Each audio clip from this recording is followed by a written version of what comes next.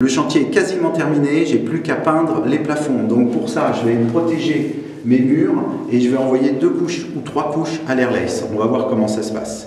J'ai enlevé tous les films des plaintes parce que ça, souvent, ça empêche le séchage et il faut que mon mur soit bien sec si je veux euh, mettre mon film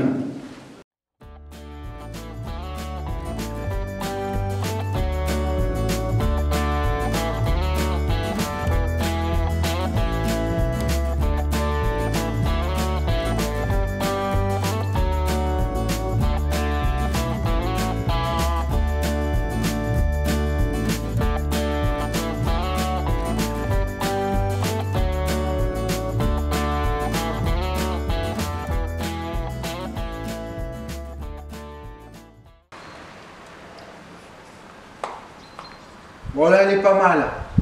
Ça me va comme ça. Pas qu'elle soit trop liquide non plus sur le mat profond. Tu vois, ça fait, c'est, une peinture, regarde. Si tu la dilues pas, ce que ça fait, ça fait une pâte. Alors au rouleau, ça passe parce que c'est une pâte. Mais à l'airlace, c'est mieux de l'avoir un peu plus fluide. Ça évite d'avoir de la poussière et du grain.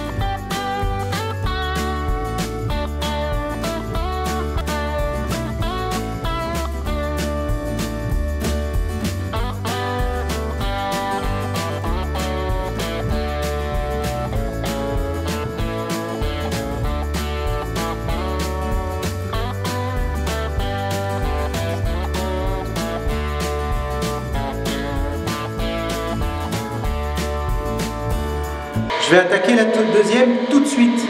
Ça s'appelle frais dans le frais.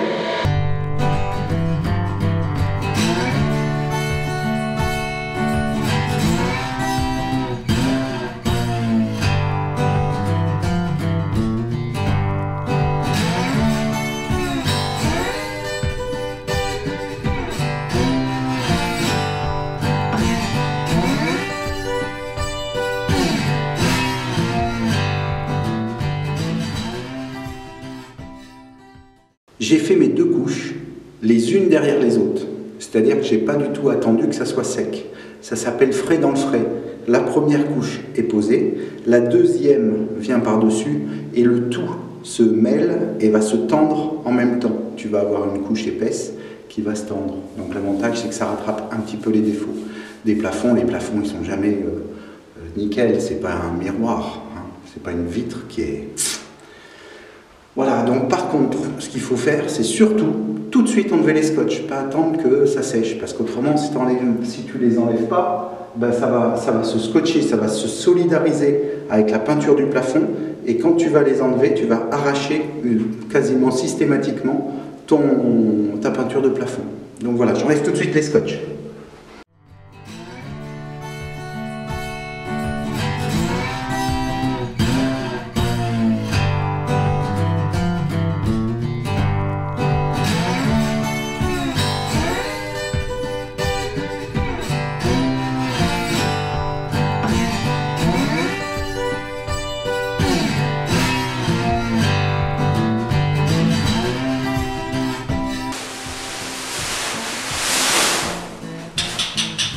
Nickel, le plafond est nickel. Tu vas voir en séchant, c'est super beau cette, euh, ce mat profond. Ça te rattrape les défauts, c'est merveilleux. le chantier